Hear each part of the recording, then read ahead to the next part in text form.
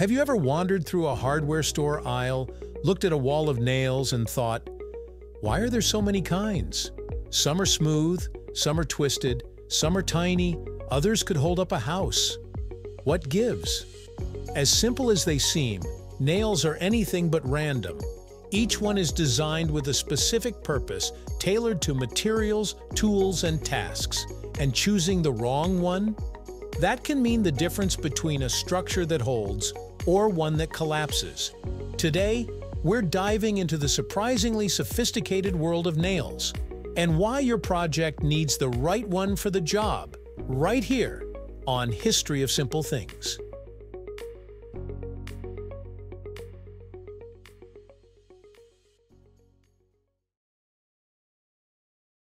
Let's start with the basics. All nails have the same anatomy, a head, a shank, that's the body, and a point. But how those parts are shaped changes everything. The shape of the head determines how visible the nail will be once driven. The shank influences how deeply and securely the nail grips into the material. And the point? It affects how easily it penetrates and whether it might split the wood. Even subtle design differences can dramatically change how a nail behaves under load or stress. That's why builders and woodworkers often keep several types on hand, because one nail definitely does not fit all. The length, width, and finish all work together to create performance tailored to the job at hand. It's basic engineering, disguised as everyday hardware. Let's break down some of the most common nail types and what they're built for. Finishing nails have small heads and slender bodies, perfect for trim or molding where you want the nail to disappear once painted. Framing nails, on the other hand, are thick and strong. They're used to hold together the skeleton of a house, where strength matters more than looks. You've also got masonry nails, which are specially hardened to drive into concrete or brick without bending. Duplex nails have double heads, making them easy to pull out later, great for temporary structures like scaffolding or formwork.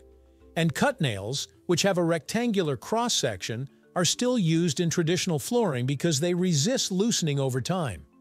Some nails are even designed to break off cleanly after use.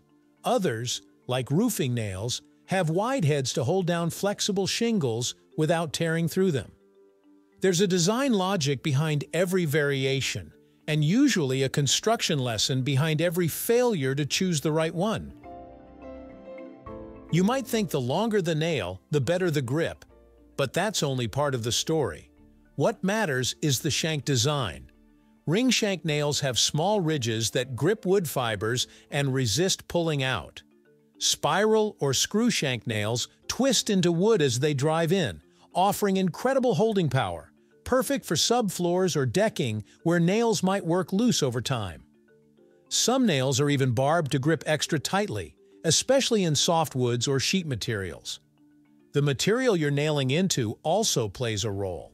Plywood reacts differently than hardwood, and certain nails perform better in one than the other. Holding power also depends on how the nail handles seasonal expansion and contraction.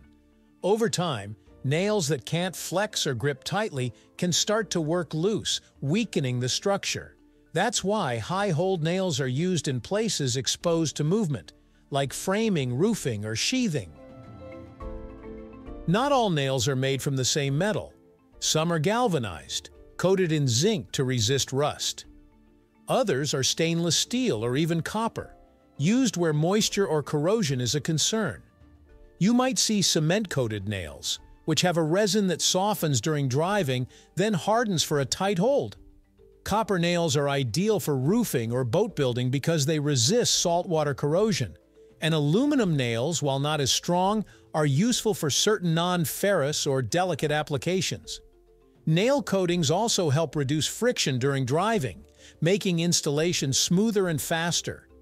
In outdoor construction, Galvanized or coated nails are often required by code for safety and durability. Choosing the wrong finish might not show up right away, but give it one wet season and you'll see rust, staining, or worse, structural failure. Different nails also work with different tools. Collated nails are joined in strips or coils to be fired from nail guns, which are faster and more efficient than hammering by hand, especially in large-scale projects. But you can't just load any nail into any nail gun. They come in angled strips, different lengths, and various coatings. Use the wrong one, and your tool might jam, or worse, misfire. Some nail guns are designed for framing, others for finish work, and some for specific tasks like roofing or flooring. Pneumatic tools need specific air pressure settings to handle the size and strength of each nail. Even the angle at which nails are collated, 15 degrees, 21 degrees, 30 degrees, and so on, matters when it comes to matching tool compatibility and driving efficiency. Knowing your tool and your nail is essential to getting the job done right. It's not just a matter of convenience, it's a matter of safety and performance. Ultimately, the reason there are so many kinds of nails is simple. Not all jobs are the same. You wouldn't use a finishing nail to hold together a deck, and you wouldn't drive a spiral shank framing nail into decorative crown molding. It would split the wood, or just look awful. Beyond structure and appearance, the wrong nail can also void warranties or fail building codes. Professionals choose their fasteners as carefully as their lumber, because each material reacts differently over time. That's why building plans often specify exact nail types. It's not overkill, it's engineering. At the end of the day, it's all about performance, precision, and longevity. And nails are just as critical to that as the materials they join.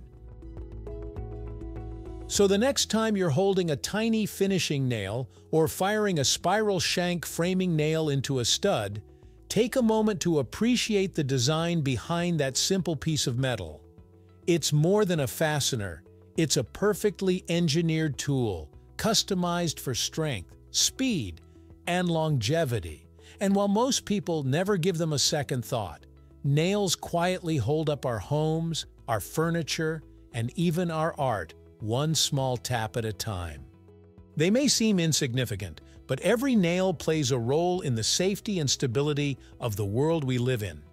From the smallest picture frame to the tallest skyscraper, they're doing more than just holding things together. They're holding history in place. Behind every sturdy structure is a series of quiet decisions, nail by nail, detail by detail.